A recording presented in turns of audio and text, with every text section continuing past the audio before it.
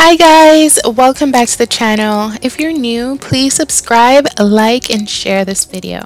Today I'm going to be talking about healthy foods for the brain and nervous system. Number one, virgin olive oil.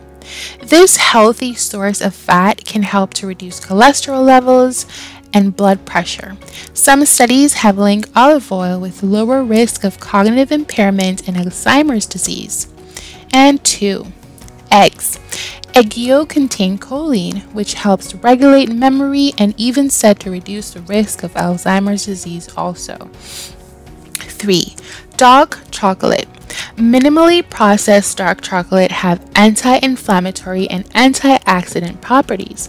These properties help to lower the blood pressure and improve the blood flow to the brain. 4 complex carbohydrates.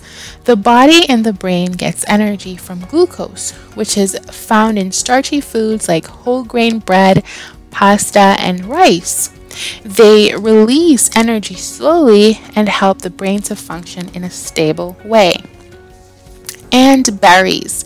Berries are high in antioxidants, which helps protect against diseases by protecting cells in the body and brain from damage.